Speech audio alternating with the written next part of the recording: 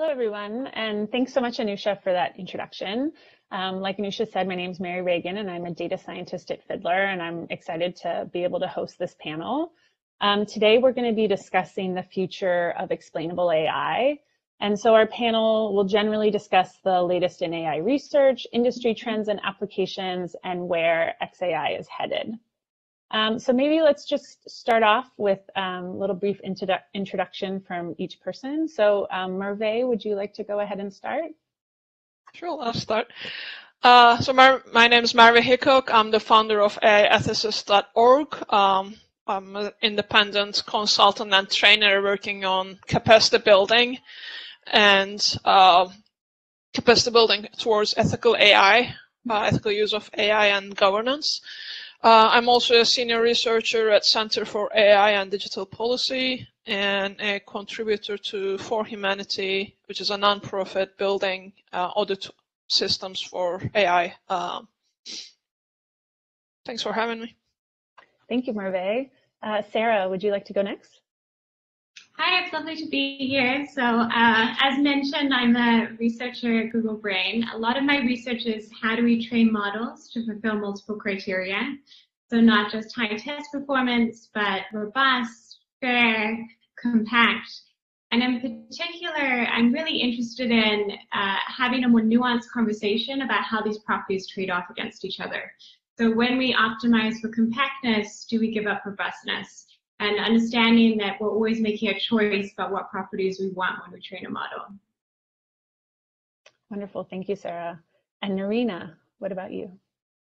So, hi, um, I'm Narine. I'm a research scientist at Facebook, and um, I support model understanding efforts at Facebook as part of the Responsible AI Applied Research Group and the Captum project. Um, so we develop generic algorithms and tools that help model developers to debug and better understand their models. So we work both with um, production and research projects, um, and we have internal and external collaborators and contributors on those efforts and projects. Great, thank you, Narine. Um, so let's get started with this first question. So we all know that explainable AI, the need for it is just growing quite rapidly. Um, so I, am going to pose this question to each of you. We'll go around, like, where are you seeing the need and adoption of explainable AI today? Um, so maybe let's start with Narine. Um, yeah, so I think ideally it would be amazing to have explainability options for most machine learning models, but certainly there are some fields of industry and research um, for which explainability is more critical. And uh, for example, some of those fields are healthcare, bi biotech, and any field where human trust um, is inevitable. Um, so um, I think in terms of research, um, I think we, from explainability perspective, um, if we better understand them, something, the more likely it is that we will improve it. So I see that um, that will help us to push the boundaries of a cutting edge research. So I think it's it's uh, definitely a plus point for uh, for all fields of research, but definitely some cases where trust is inevitable. That's more more important. Right. Wonderful. Thank you so much. Um, Sara, what is your perspective on this? What's interesting, Narine's already brought up a really good point, which is that we may not always place as much emphasis on interpretability. It depends upon the task but also that interpretability is not a binary um, property. So we don't just achieve interpretability, sign off a model, and essentially launch it. So a lot of what I'm interested in in terms of what's happening with interpretability tools is moving it from something that people feel like is a checklist that they have to tick off before they launch something to something which is part of how you develop a model and how you understand how your model performs after you launch. And also to understand that different, uh, different users will need different things. So when you're deploying a model, it's much more likely that you want to understand the relative distribution of your data set. We have very large scale data sets now. How do we surface what is most important for a human to look at? Whereas as a consumer, if you're if you you are the recipient of a model prediction, you're always going to want to know for your prediction why did the model perform the way it is. And these are not the same tools and they're not the same techniques. So having more nuance about what we what we mean by valuable interpretability tools that provide intuition, I think that's all very exciting uh, and something that's changing rapidly as we tailor interpretability more to where it's needed. That's great. Thank you. Uh, Merve, what do you think about this? I think coming from an ethics and governance perspective, I'll follow on with what Narine and Sara has mentioned, uh, where it is needed. Um, I think where we're standing right now in lack of regulations or like in the absence of regulations or like former guidelines, we're looking at where you got the highest harm um, or where you're going to get the most value out of adoption, okay, interpretability or explainability adoption or where you could reduce the risk more, most. Um, and that's, I think, why we keep going back to high stake situations.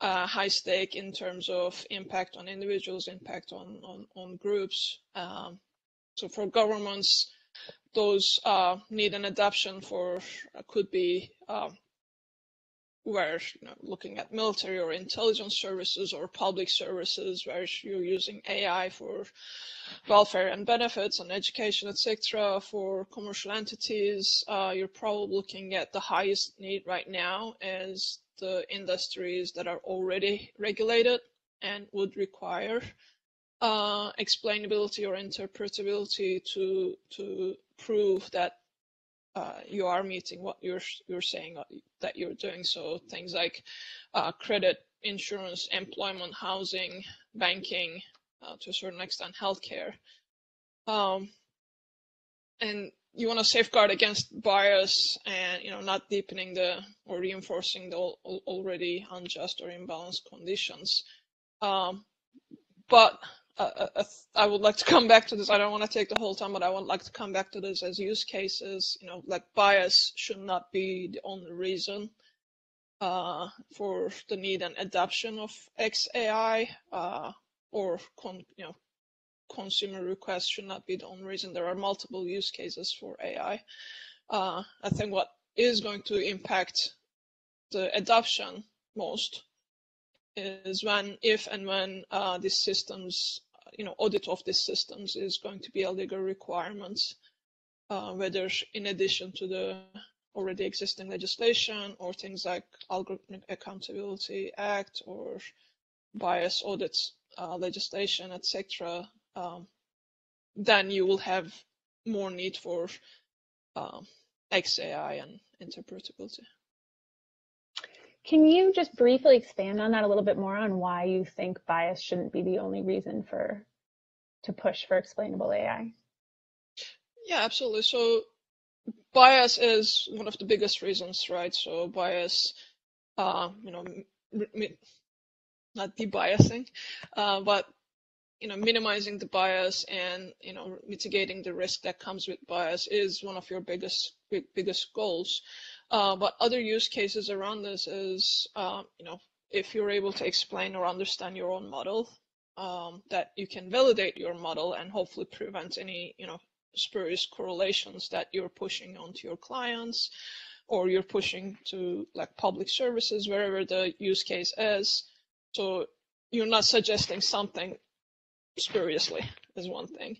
Uh, obviously, optimizing performance is another thing. Um, protecting your model against any adversarial attack. Uh, so it's you know it's not performing as it is. So being able to monitor your model performance uh, either for adver against adversarial attacks or for drift is another thing. And kind of I'm going back to governance and audit. Um, another biggest use case for me is going to be unless you're building white box models to start with.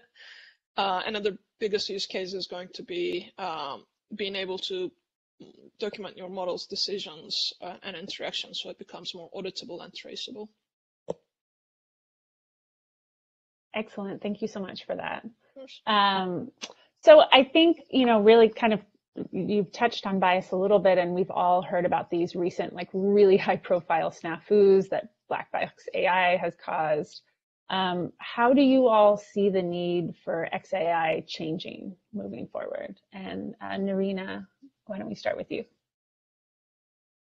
Um, Yes, so um, I think um, so. With the increase of ML applications um, in various uh, fields of industry and research, um, so explainable AI is becoming more and more important, and we have more and more ML practitioners using ML in for various different uh, applications. So um, I think one thing that those model developers realize is, although they understand the theory, um, it's not sufficient to actually say uh, how does my model makes decisions and how we can potentially change that, influence those decisions. So I think moving forward, um, the model developers, the ones who put the architecture together, they will put more emphasis on inherently interpretable model. So they will try their best and um, to make their models as interpretable as possible, at least certain components can be interpretable.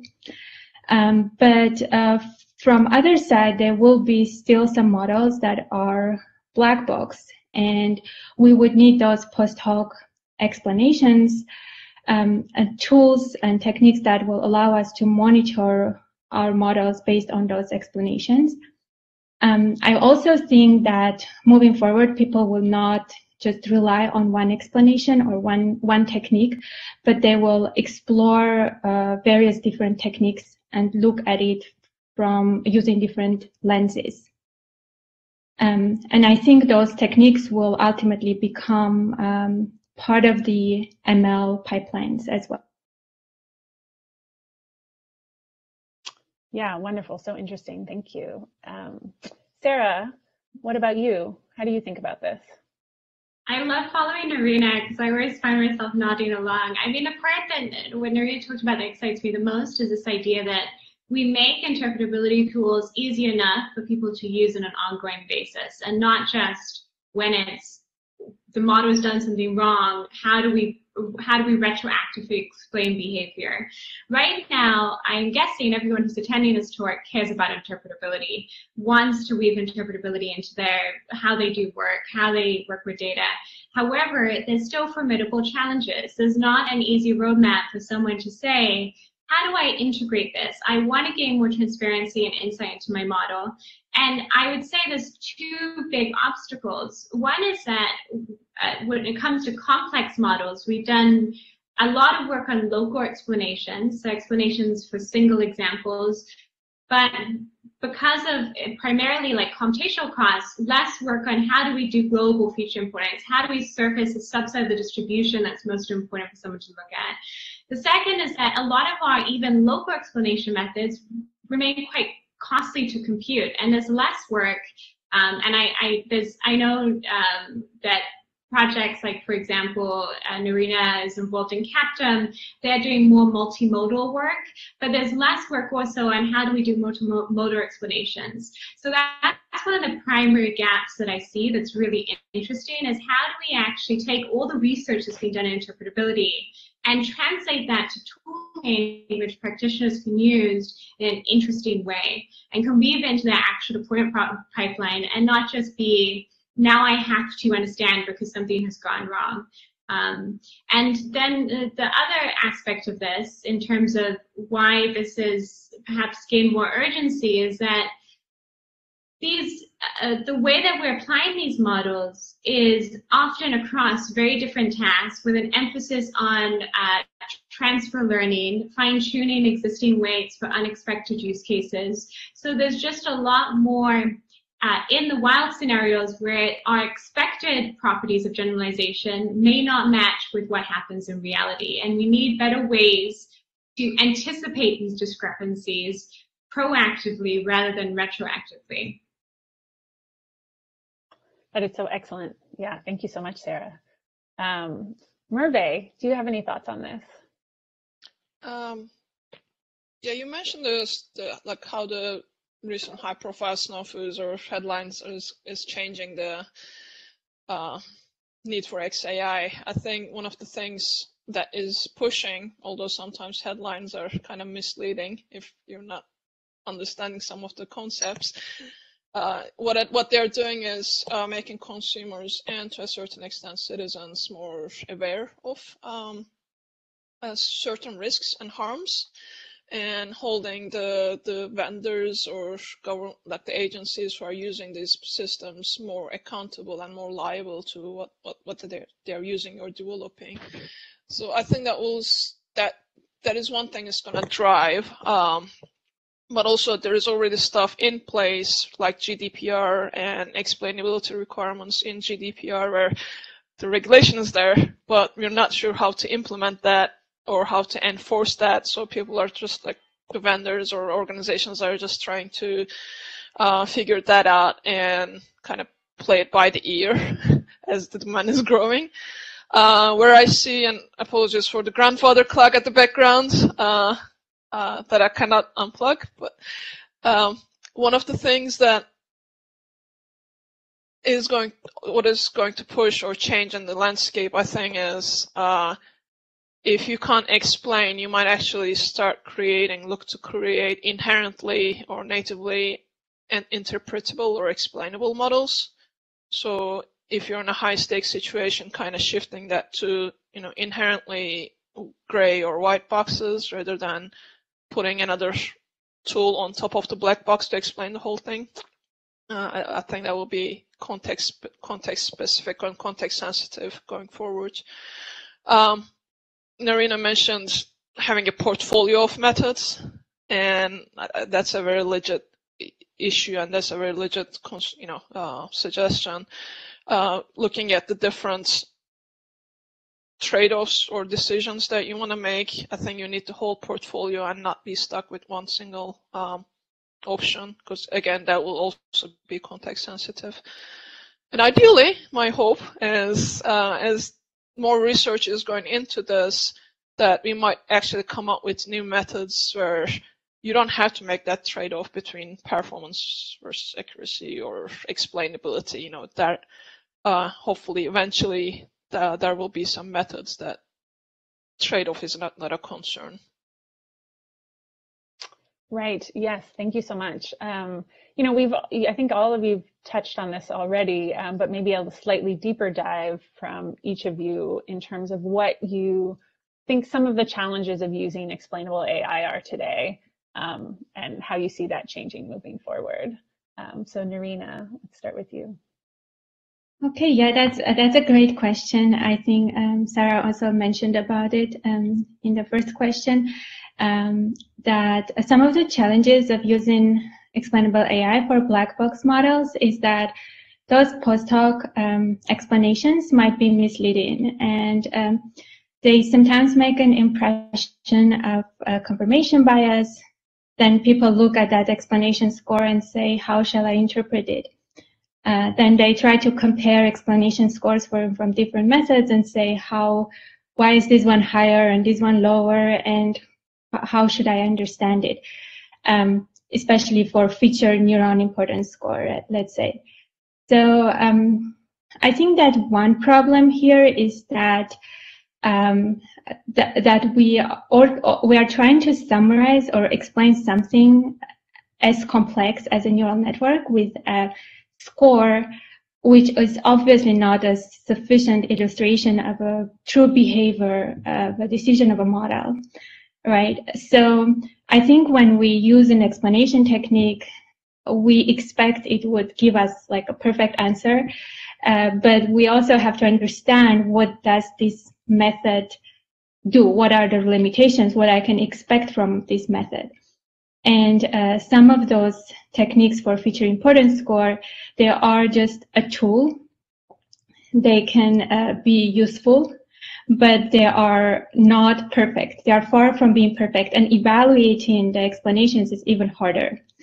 Um, I think what can help here is, um, as I mentioned in the previous um, question, that we having a toolbox of different techniques and looking at a model using different lenses. For example, feature importance or attribution lens is one perspective.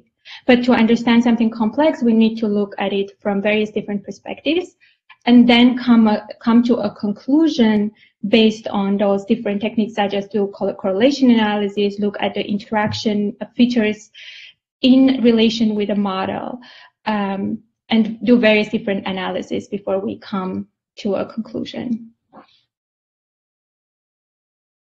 That's wonderful. Thank you for that answer. Very helpful. Um, Sara, do you want to build on uh, either what Narine said or, or do you have any other thoughts?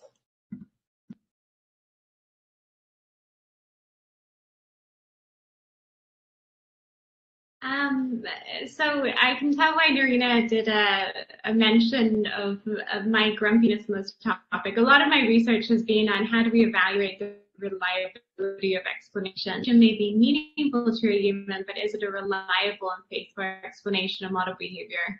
And the second point is very critical because uh, uh, incorrect explanation is worse than no explanation at all in very sensitive domains.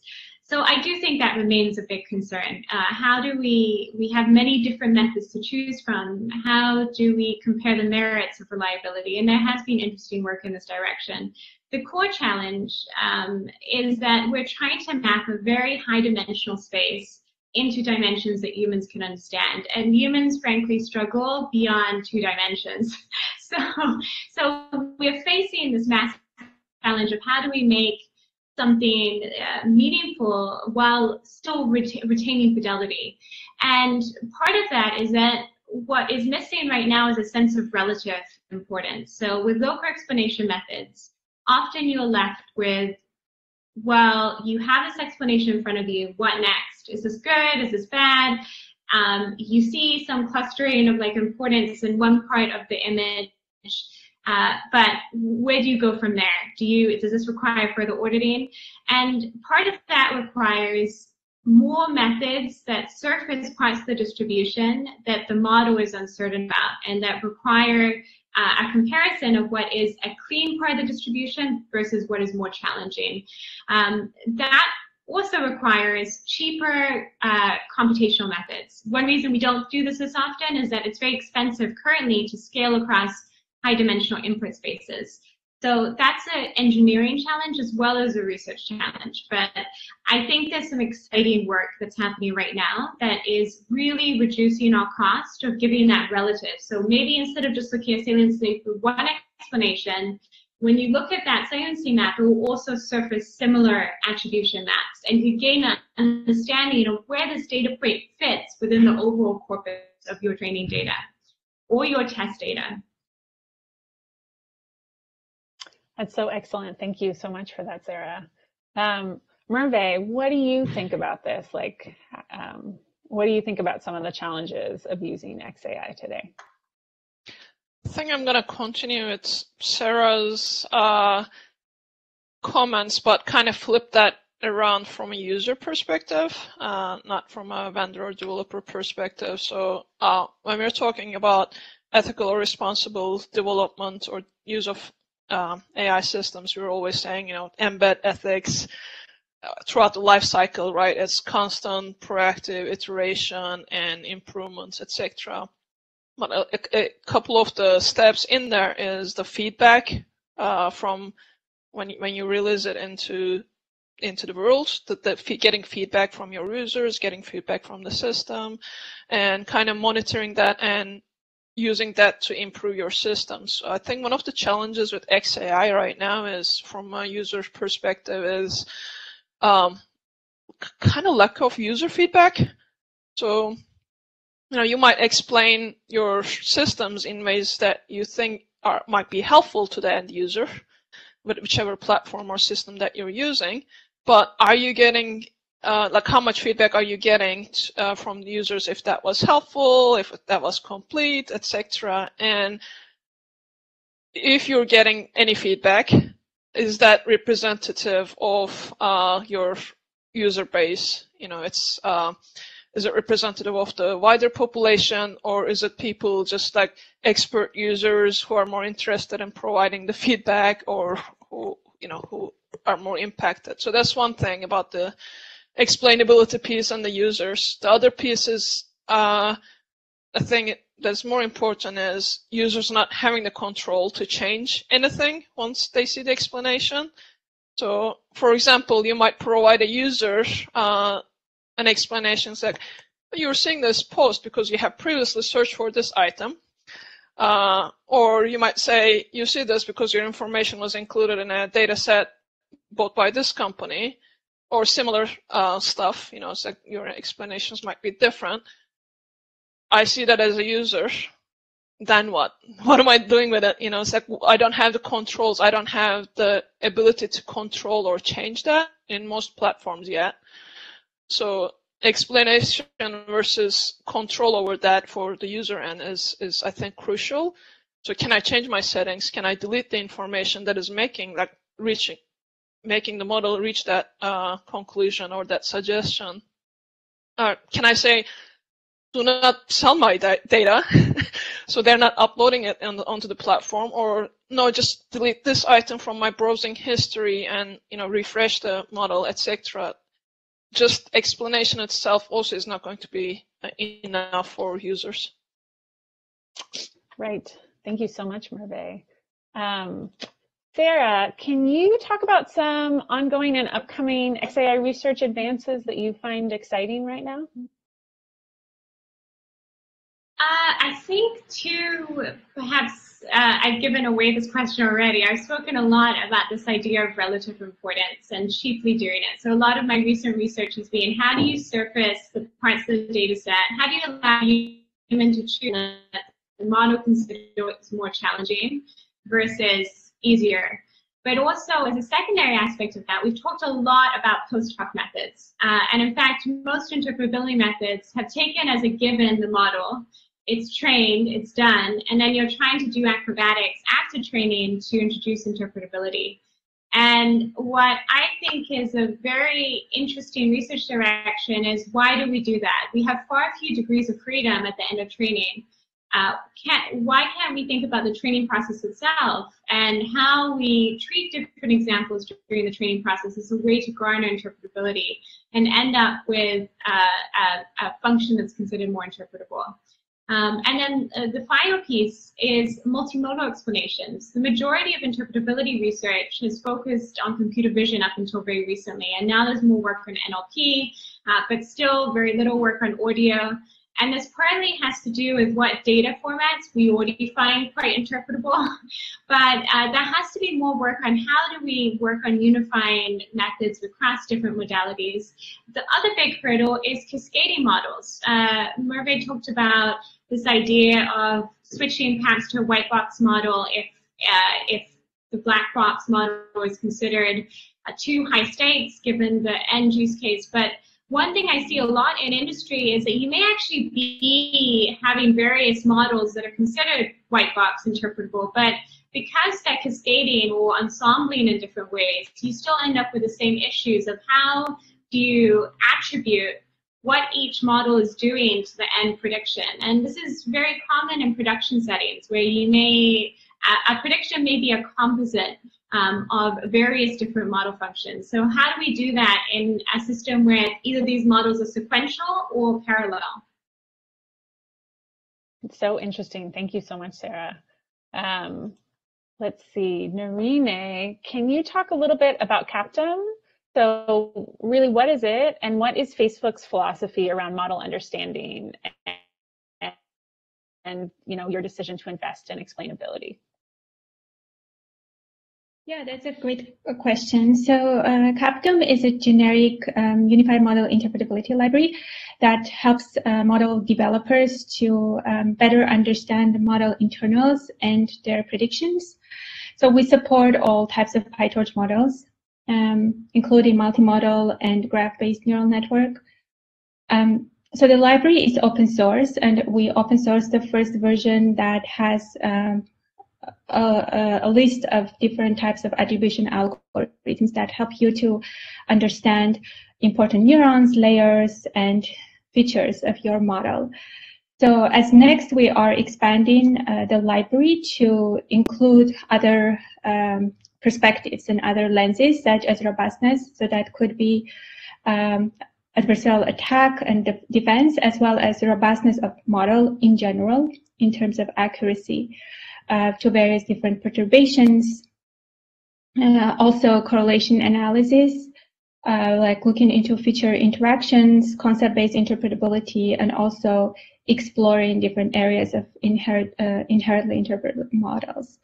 Uh, so the library uh, core philosophy behind the library that it's multimodal and that uh, it is scalable. So we put a lot of engineering effort so that the algorithms run um, on different GPUs so that people do not struggle uh, with the performance when they want to do like online um, interpretability of a model.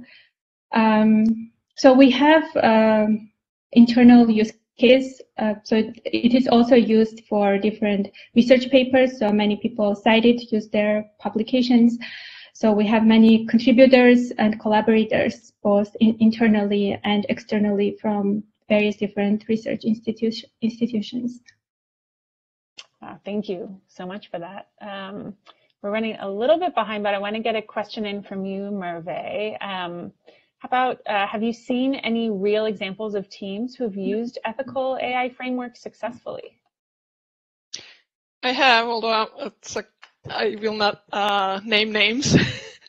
uh, just not, not to be endorsing any company or another. Uh, what I will say is, uh, because it's a um, growing industry, you know, when we say ethical framework, there is no like, as widely accepted frameworks. So what you see usually in you know my work being a consultant and trainer allows me to see different models uh, across organizations.